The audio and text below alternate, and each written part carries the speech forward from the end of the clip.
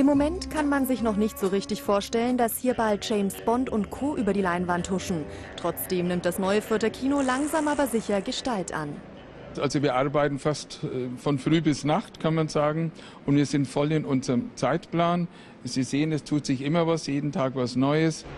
Bauherr Alfred Ach freut sich über jeden noch so kleinen Fortschritt auf der Baustelle. Gerade weil lange Zeit nicht klar war, ob der Unternehmer sein Kino tatsächlich bauen kann. Das war ein langer, sehr steiniger, schwieriger Weg. Auf dem Gelände, wo wir unser Kino bauen, geht zum Beispiel unter ein Drittel des Platzes die U-Bahn-Röhre durch. Wir hatten ursprünglich mit drei, vier Gutachten gerechnet, mussten aber zwölf Gutachten in Auftrag geben. Das war schwierig, dadurch gab es auch Zeitverzögerungen.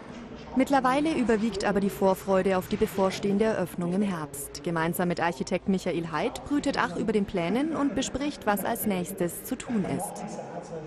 Der größte Teil ist jetzt natürlich dann die Saalausbauten. Dann kommt natürlich irgendwann auch die Kinotechnik, so vier Wochen etwa vor Eröffnung. Das sind noch zwei große Brocken. Natürlich werden dann auch in allen sechs Sälen bequeme Sessel eingebaut. Platz für über 1000 Besucher. Und die dürfen gespannt sein auf das neue Kino. Drei Säle werden voraussichtlich drei bis vier werden in 3D sein. Und in euren, unserem großen Saal, da bekommen wir ein ganz besonderes Tonsystem rein, das Atmos-System. Außerdem haben wir einen sehr großen Gastrobereich hier mit einer Terrasse und einer Cocktailbar angedacht.